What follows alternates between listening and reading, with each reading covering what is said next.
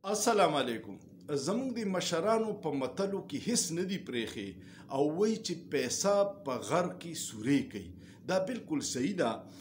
یو دوه ورځې مخکې یو کراچۍ کې یو ډېر افسوسناک واقع شوی و د کارساز په علاقه کې یو لینډ کروزر د 15 کروڑو قیمت چې هغه د بیکابو شو او په خلکو په فټپات چې وروخته پنځه کسه پکې زخمیان شو دوه کسه پکې مړه شو یو پلار او لورو جینې چې وا کما چې مړه شو هغه د ایم ای ډیګري اغستې او پلار سره تل یونیورسيټي ته هغه راوړه دا خلک چې کله گاډي بې قابو شو دا اکسیډنټ شو الټه شو هغه چې خلک ورمنډه کړه هغه کې یو زنانه ناشته و هغه یو الټرا ماډرن زنانه ناسته وه او داسې تاثر و چې یا هغه په نشه کې ده او یا یې څه د نشې ادویات استعمالول ځکه چې دا خو یو کار و چې ویډیو کلیپ ما وکتو نو هغه ښځه چې وه اړو ګبراو نه وه خلکو ډېر رانیولې وه او وی چې دا سزا ول ورشي بیا پولیس ته چا کال کړ چې پولیس راغی نو ښځه داغه ځای نه بوتله دا ښځې نوم دی نتاشا اقبال او دوی بیا پاکستان کې خو طاقتور سړی ته سزا نه ملاويږي هغه له شل لارې وګوري دا ټول نظام وکیل پکې انوالو شي جج پکې انوالو شي ډاکټر پکې انوالو شي پولیس پکې انوالو شي او دا سوچ کوي چې دا خو پیسې والدي راشه دی به د سزا نه بچ کو څنګه دوه کسه د پرانا ورځ مړ کړو پنځه د زخمیان کړو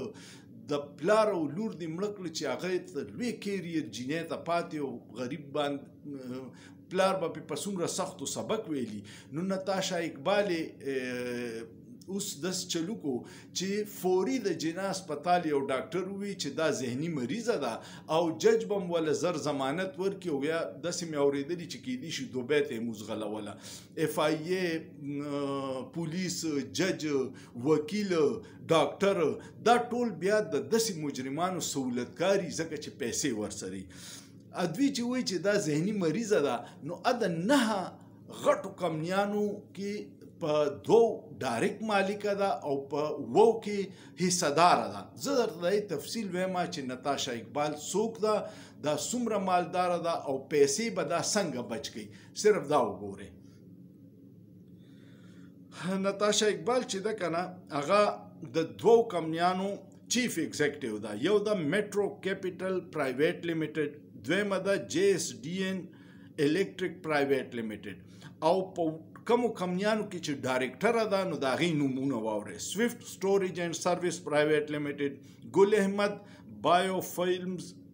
لمیټډ ګل احمد سی بی ایم سی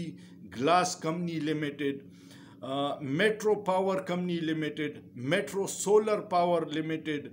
میټرو پراپرټی نیټ ورک پرایویټ لمیټډ میټرو سټوریج اینڈ سرویسز پرایویټ لمیټډ دا ټولې کمنیانو دا مالک ده او عدالت جج وکیل ډاکټر پولیس ذهني مريضه کړه چې د سزا نه بچ شي ځکه چې قتل یې کړی او مالداره ده د دې هر سړي به جیب او خېټه ډکیږي مظلوم ته به انصاف نه ملاویږي ظالم به د خپل پیسو په وجه بچ کیږي ځکه چې موږ په یو فرسوده نظام کې یو او دغه فرسوده نظام نه ورسته ورځ د خلکو نفرت سیوا کیږي چې کله عوام په خپل حق پوه شو نو بیا به لکه د سریلانکا او بنګلادیش راچوتیږي او بیا به دی خلکو ته پناه نه ملاویږي خو لا زمون خلک اوده دي الله دې پوره من احتجاج همت ورکي او الله دې داو کی چې د خپل حق شعور ولور کی چې مون را یوځې شو او متحد شو او د دې ظالمانه فرسوده نظام نه ځان خلاص ستاسو خیال دی کمنټ په لازمنو کې ویډیو شیر کې سوچ پیو کې په سوچ کې څه ګناه نشته